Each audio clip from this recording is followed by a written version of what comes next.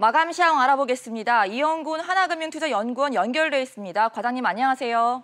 네, 안녕하십니까? 네, 연일 가- 강세장을 이어가다가 오늘은 하락 마감했죠.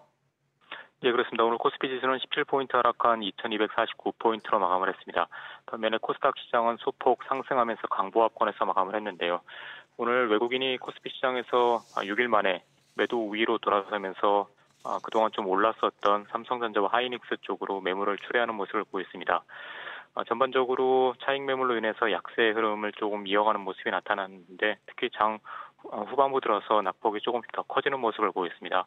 원달러 환율은 아, 소폭 하락하면서 전반적으로 환율은 안정세를 나타내고 있는 상황이고요.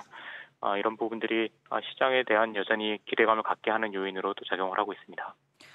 네, 오늘 LG화학 같은 경우는 어닝 서프라이즈를 기록하기도 했는데 주목할 업종이나 특징주가 있다면 어떤 게 있었을까요? 예, 그렇습니다. LG화학이 아, 어닝 서프라이즈로 인해서 오늘 주가가 7% 이상 상승 마감을 했고요. 아, 2차 전지 배터리 부분에서 아, 호실적을 기록을 하면서 2차 전지 관련주들의 동반 상승을 이끌었습니다. 저 LG화학뿐만 아니라 아, 삼성 SDI도 3% 이상 상승을 했고요. 2차 전지 관련주 역시 오늘 아, 전반적으로 좋은 주가 흐름을 나타냈습니다. 네, 이번 주 나흘 연속 상승 마감했었죠. 다음 주는 투자 전략이 어떻게 보면 되겠습니까?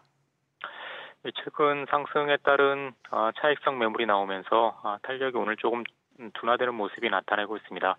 아, 지수는 단기적으로 조금 부담을 느낄 수 있는 부분이 있기 때문에 아, 차익성 매물을 소화하는 과정이 조금 더 이어질 것으로 보이지고요. 다만 다음 주에도 역시 기업 실적 발표가 예, 어, 예정돼 있는 만큼 실적에 따라서 주가가 아, 차별화되면서 등락이 나타나는 종목별 장세가 이어질 것으로 판단이 됩니다. 네, 지금까지 이영군 하나금융투자연구원과 마감 시황 알아봤습니다. 과장님 감사합니다. 예, 감사합니다.